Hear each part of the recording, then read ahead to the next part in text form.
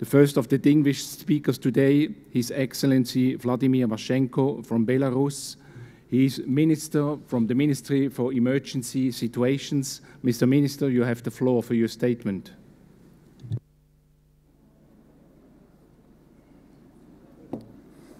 Уважаемый председатель, уважаемые дамы и господа, прежде всего хочу выразить искреннюю признательность и благодарность за прекрасную организацию и проведение четвертой сессии глобальной платформы по сокращению риска бедствий и предоставленную возможность участвовать в ее работе нашей делегации.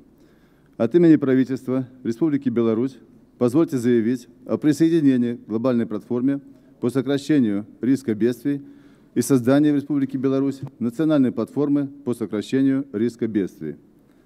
Национальная платформа создана на базе государственной системы предупреждения и ликвидации чрезвычайной ситуации и отвечает приоритетным направлениям деятельности Хиосской рамочной программы действий.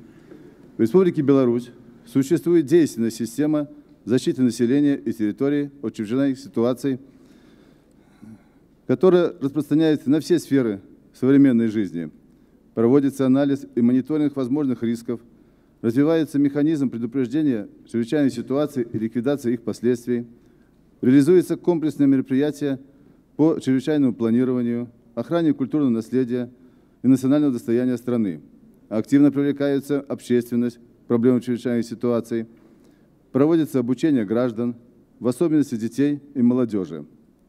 Внедряются научно-технические разработки, осуществляется активное сотрудничество со средствами массовой информации – Совершенствуется нормативно-правовая база, ведется работа по ликвидации последствий аварии на Чернобыльской атомной электростанции.